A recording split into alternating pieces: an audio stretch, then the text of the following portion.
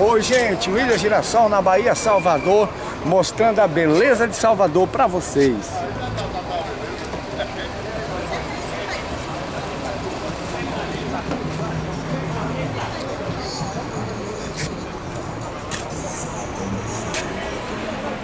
Muito axé